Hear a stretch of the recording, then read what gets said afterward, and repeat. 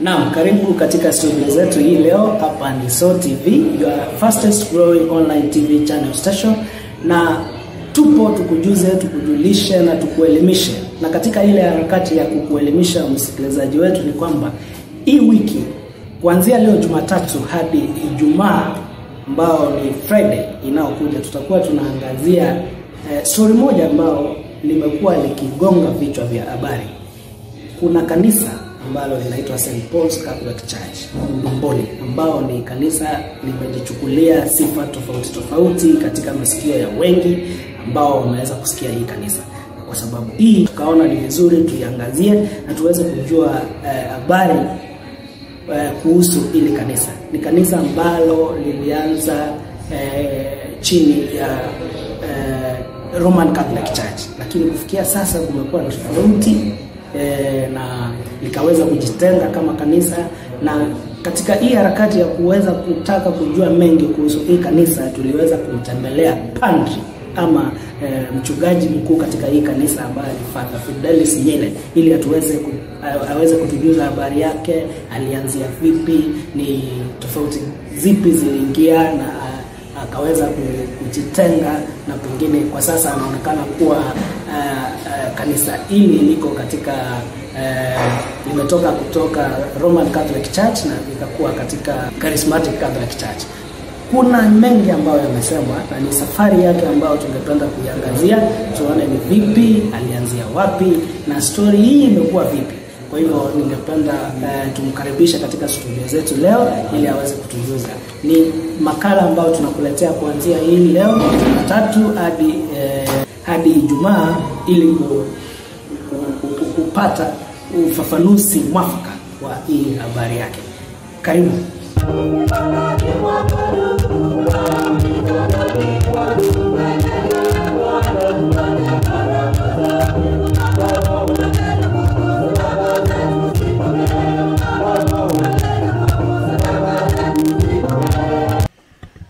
Majina yangu ni Father Vindelis Nyile, mwanzilishi wa kituo cha maombi ya uponyaji na utakaso cha St. Paul's Ndumbuli, ambayo iko katika kata ndogo ya Mwala, Mwala sub county, Machako, Machakos County nchini Kenya. Nachukua nafasi hii kuweza kusema machache kuhusu kituo hiki na kuhusu kazi yangu mimi kama padri wa kituo hiki. Mimi ni padri ambaye amesomea na amesoma masomo yote na akahitimu. Nilipatizwa na kufunguliwa sakramenti ya kwanza ya komunio mnamo mwaka elfu moja mia tisa na themanini na tano na nikaweza kulewa na nikakuwa katika kanisa hili la Kikatoliki, na ni, ni kama mtu ambaye anakuwa, niliingia katika vikundi vingi vya kanisa. Kikundi cha Legion of Mary nilikuwa nimekuwa mshiriki pale, na nilikuwa mwimbaji katika kwaya, na nikaendelea nikamaliza masomo yangu ya sekondari mnamo mwaka wa elfu, mo, elfu moja mia tisa na tisaini na saba nilianza safari ya kuwa padri. Nilifanya interview na nikachukuliwa kama mseminaristi katika jimbo la Machakos na nikatumwa katika seminari kuu ya Kristo Mfalme Nyeri. Mwaka wa elfu moja mia tisa na tisaini na nane masomo nilianza na nikamasoma, nikamaliza masomo ya filosofia mwaka wa elfu mbili.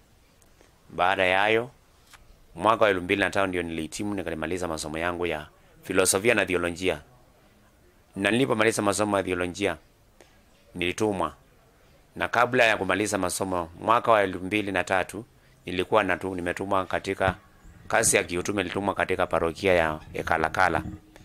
Mwaka wa elfu mbili na tatu nilifanya kazi na padri ambaye sasa hivi Mungu ashampumzisha, alikuwa anaitwa Father Dedeus Mutuku.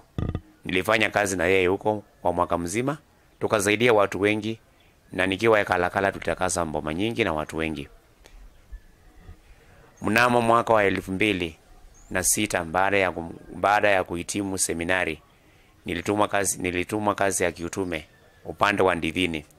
Ndidhini nilifanya kazi kwa miezi sita.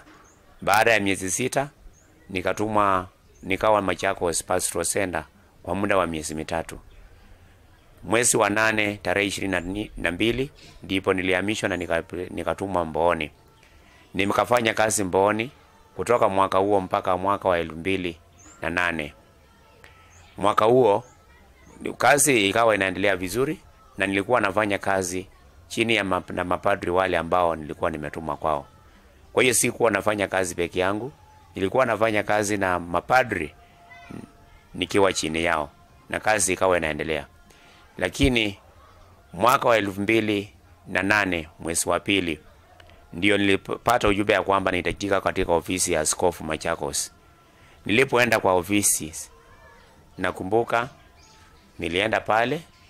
Nilipofika wakati wa kuingia kwa ofisi, nilikuwa na vocation director alikuwa pale na akapewa barua na anipatie barua. Ile ambayo nilipewa ilikuwa inasema kwa sababu nimekuwa kwa kazi nikifanya vizuri. Barua ilikuwa inasema I was outshining in the ministry and for that reason I should be discontinued from formation to priesthood. Kwa hivyo, kwa sababu hiyo, jambo moja ambao nakumbuka niliuliza ni kwa nini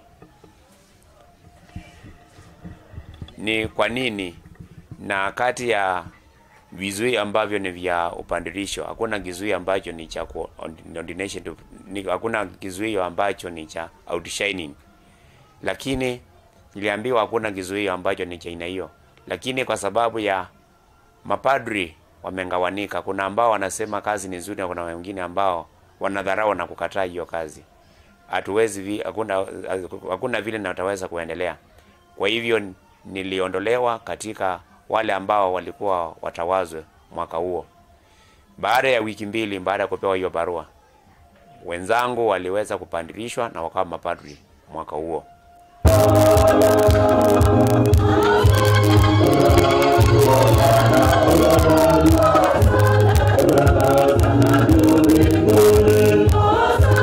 Naam, ni safari yake Father Fidelis Nyile katika huduma yake ya kuhubiri neno la Mungu ambalo amekuwa akitusimulia ni vipi alianza, vipi alipata mafunzo yake katika ya useminari.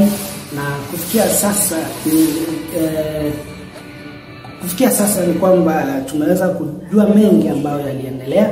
Na kesho tutakuwa tunaangazia ni vipi eh, aliweza kutoka katika eh, katika um, the main Catholic Church na kuanzisha kanisa hili la St Paul's Dumoni. Ni safari yake tu, ataweza kutueleza na kutujuza ni vipi hii safari imekuwa, kwa sababu kuna wengi ambao wameweza kusimulia mengi kumhusu, wengine wakiweza hata ku, ku, ku, ku, ku, kumsema mengi ambao yamekuwa tu yakisemwa kwamba hata pengine yeye si mtu eh, wa Mungu vile.